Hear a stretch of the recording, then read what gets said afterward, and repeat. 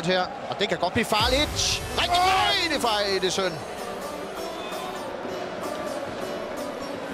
Stikker. Det er godt spillet her til Valdo. Rigtig godt den der, og så skal der altså væk. Det kommer den også. Kondeli. Heldigvis er hurtigst på bolden her.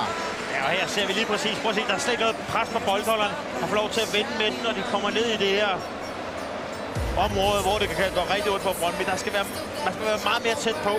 Gør sit arbejde fint her. Og der er helt plads over modsat. Der er rigtig meget plads til Jan Christiansen. Kan måske modsat nå at komme ind og afslutte. Der kommer overlap Daniel Vass på siden. Og der er Jan Christiansen! Kongemål! Med venstre benet bringer Brøndby foran med 1-0. Og videre Jan Christiansen. Endnu en gang ser vi Vass komme med et overlap. Ligner lidt det, der fører til målet. Den her gang med højre benet. Det er godt skud.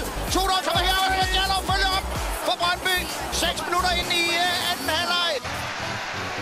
Sådan her. Det er godt lavet. Det, det er, rigtig godt. Rigtig godt. Lad os se, hvad han har til. Der er mål!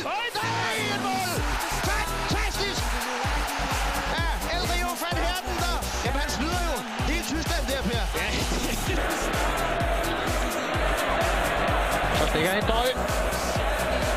Og målmanden kommer sådan lidt ud her. Nej, det er godt lavet! Fuldstændig kiks ned i Panathinaikos forsvaret. Der er en døj. Og den kunne jeg da godt tænke mig at se op i krydset, den der.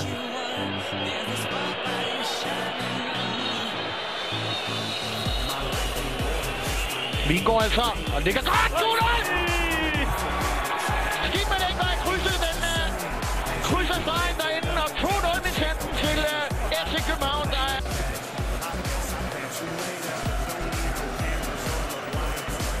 Spillet, Niklas Jensen.